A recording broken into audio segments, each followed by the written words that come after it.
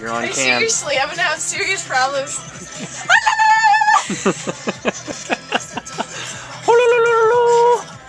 and there's a Jew. Look, beard. remember that one print that looked like a vagina? a really hot bearded Jew. Mmm. You can't unsee it.